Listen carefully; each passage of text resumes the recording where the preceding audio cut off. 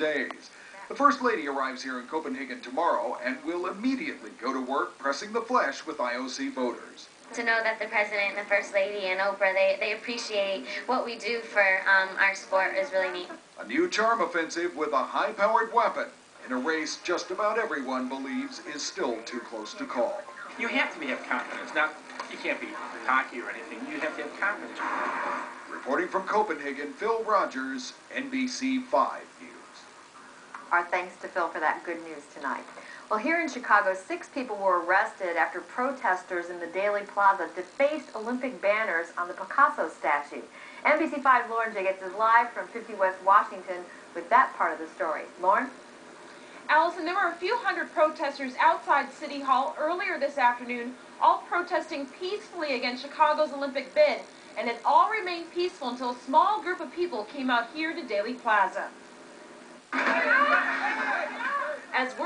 Workers prepare to dress the Picasso statue on Daley Plaza in 2016 year, a group of people opposed to Chicago's bid began protesting in front of the statue.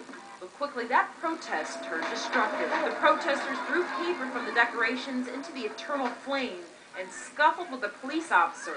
Six protesters were taken into custody. The great thing about this country is that we have a, a right to freedom of speech. At the same time, there is a line you cannot cross. And unfortunately, that line was crossed tonight. Earlier, the protest was more peaceful, with opponents arguing outside City Hall that the games would be too expensive at the cost of public services like schools and hospitals. The history of the modern Olympics, really over the last 20 years, is one of uh, displacement of poor residents, cost overruns, and civil rights violations. Bruce Bailey was also outside with the protesters, but he was in support of the games seeing he had hundreds of people come up to him voicing their support. I think it'd be great for our city. It's going to bring in tons and tons of money and people, and it's going to create seven years of excitement.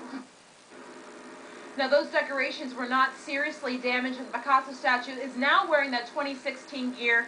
Again, six people were taken into custody, and they are facing felony charges at this hour. Reporting live outside Daley Plaza, I'm Lauren Jiggetts, NBC5 News. Rob, back to you. All right, thank you, Lauren. President Obama will